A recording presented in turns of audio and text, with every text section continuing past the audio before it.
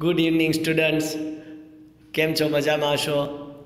આજના online video screen લેક્ચરમાં તમારું સ્વાગત કરું છું.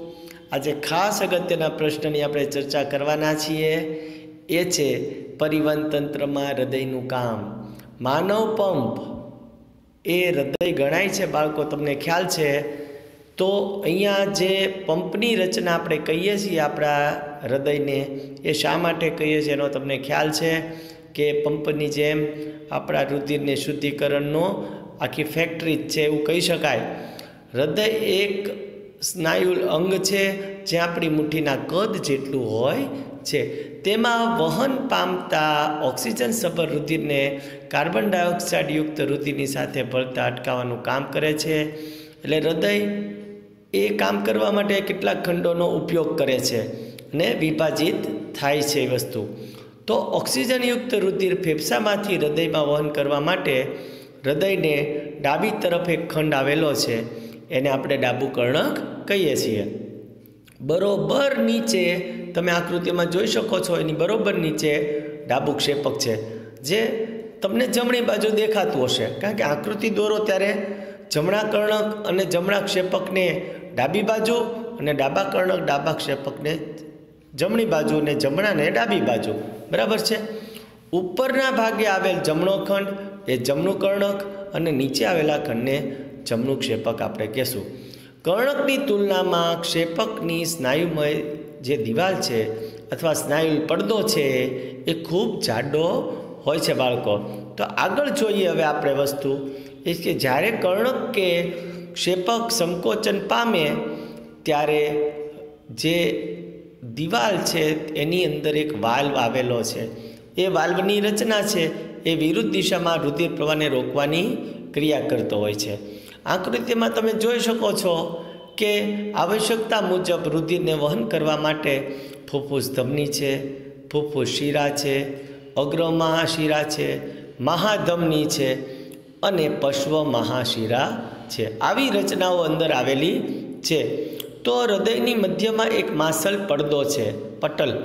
એ બંને કર્ણકોને, બંને ક્ષેપકોને જુદા પાડવાનું કામ કરતો હોય છે. તો આ થઈ હૃદયની રચના. પછી એક્ઝામમાં તમને એમ પૂછાય કે હૃદયમાં થતી રુધિરના વહનની ક્રિયા સમજાવો, તબક્કાવાર.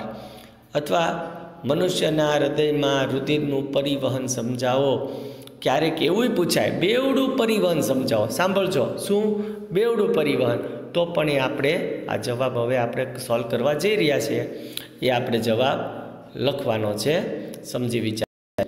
તો જોઈએ કે વહન કેમ થાય છે. તો કે પોષક દ્રવ્યો છે, ઓક્સિજન છે અને કાર્બન ડાયોક્સાઇડ છે. તેમજ નાઇટ્રોજનયુક્ત દ્રવ્યો, ઉત્સર્ગ દ્રવ્યો છે, ક્ષારો છે. આ બધાનું વહન કરવા માટે રુધિરની જરૂર પડે. એટલે બધું રુધિર દ્વારા વહન થાય છે. બરાબર ને?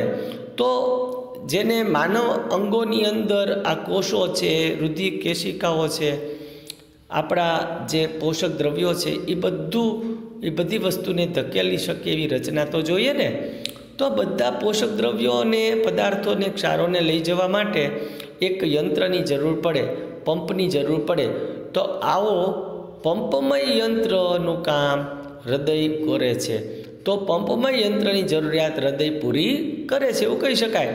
હૃદય રુધિર નલિકાઓ તેમજ રુધિર વાહિનીઓની બનેલી છે. તો એની અંદર એક આખો પરિપથ ઉત્પન્ન થતો હોય છે. તમે જોઈ શકો છો અહીંયા હૃદયની આકૃતિ આપણે મેં તમને દેખાડી છે. એસાઇનમેન્ટની અને અહીંયા પણ બીજી પરિવહનની આકૃતિ છે. એ બંને આકૃતિ દોરવી પડે એક્ઝામમાં ઓક્સિજન સભર રુધિરને કાર્બન ડાયોક્સાઇડ યુક્ત રુધિરની સાથે ભળતા અટકાવવા માટે હૃદય કેટલા ખંડોમાં વિભાજિત થાય છે. કાર્બન ડાયોક્સાઇડ યુક્ત રુધિરને કાર્બન ડાયોક્સાઇડથી મુક્ત કરવું અનિવાર્ય છે. કારણ કે એને ફેફસામાં લઈ જવું પડશે ને, તેમાં ફેફસામાંથી પાછું એ રુધિર ઓક્સિજનયુક્ત ભેગું કરી અને પાછું હૃદયમાં પણ લાવવું પડશે. ત્યારબાદ ઓક્સિજન સભર રુધિરને હૃદય પંપ દ્વારા શરીરના બીજા ભાગોમાં પણ મોકલવામાં આવે છે. તો રુધિરનું વહનના તબક્કા જોઈએ. સૌથી પહેલો તબક્કો તો કે ઓક્સિજનયુક્ત રુધિર ફેફસામાંથી હૃદયમાં ડાબી તરફ આવેલો ખંડ છે એ કયો છે? કે ડાબુ કર્ણક છે. આ રુધિર ત્યાં એકત્રિત થઈ અને ડાબા કર્ણક શિથિલિન પ્રક્રિયા ચાલુ કરી દેશે. શિથિલન પામશે. બરાબર? જ્યારે તેની પછી નીચે ખંડ આવેલો છે, તમે જોઈ શકો છો, એ છે ડાબુ ક્ષેપક એ વિસ્તરણ કે શિથિલિન પામે ત્યારે ડાબુ કર્ણક સંકોચન પામે, જેથી રુધિર છે એ બધું ડાબા ક્ષેપકમાં રૂપાંતરિત થાય, સ્થાનાંતરિત થાય. આ તબક્કો પતે પછી જ્યારે સ્નાયુમલ ડાબુ ક્ષેપક છે, એ સ્નાયુમય ડાબુ ક્ષેપક સંકોચન પામશે. ત્યારે રુધિર શરીરના દબાણ સાથે ઉત્પન્ન થયું હોય, એ હૃદયના પંપની ગતિ વધશે અને શરીરના અંગોમાં વહન પામે છે. ઉપરના ભાગે આવેલો જમણો ખંડ છે, એટલે કે જમણું કર્ણક, એ વિસ્તરણ કે શિથિલન પામવાનું કામ કરશે, બરાબર છે? ત્યારે શરીરના બધા અંગોમાંથી ઓક્સિજન વિહીન રુધિર જમા થવાનું ચાલુ થાય. આવું ઓક્સિજન વિહીન રુધિર જમણા કર્ણકમાં પ્રવેશે છે. જેવું જમણું કર્ણક સંકોચન પામે, ત્યારે તેની નીચે આવેલો એક સંગત ખંડ છે, એટલે કે જમણું ક્ષેપક છે. એ વિસ્તરણ કે શિથિલન પામે છે. તે રુધિરને આપણે જમણા ક્ષેપકમાં સ્થાનાંતરિત કરવાનું છે. તો એમાંથી આ રુધિર ઓક્સિજન પ્રાપ્ત કરી લેશે અને એ કરવા માટે ફેફસામાં પંપ દ્વારા કરવું પડે. એ ધકેલાય ત્યાં આગળ. બરાબર છે? આ છઠ્ઠો તબક્કો. જ્યારે જમણા જ્યારે કર્ણક કે ક્ષેપકનું સંકોચન થાય, ત્યારે કર્ણક ક્ષેપક વચ્ચે જોડાયેલ એક વાલ્વ છે. આ વાલ્વ વિરુદ્ધ દિશામાં રુધિર પ્રવાહને રોકી રાખશે, જવા દેશે નહીં. તો આ રીતે હૃદયની અંદર જમણા અને ડાબા બે ખંડોમાં વિભાજન થયું. ઓક્સિજનયુક્ત અને ઓક્સિજન વિહીન રુધિરનું મિશ્રણ થતું હતું. એ ન થવા દેવું પડે આપણે, એ અટકાવવું જ પડે, નહીં તો નુકસાન જાય. એ માટે આ રચના લાભદાયક ઉત્પન્ન થઈ હૃદયની, આ વેચણીને શરીરની અંદર ઓક્સિજન પહોંચતો થયો અંગોને. આ વેચણી શરીરને ઓક્સિજનનો ઉચ્ચ પ્રકારનો કાર્યદક્ષ પુરવઠો પૂરો પાડવાનું કાર્ય કામ કરે છે.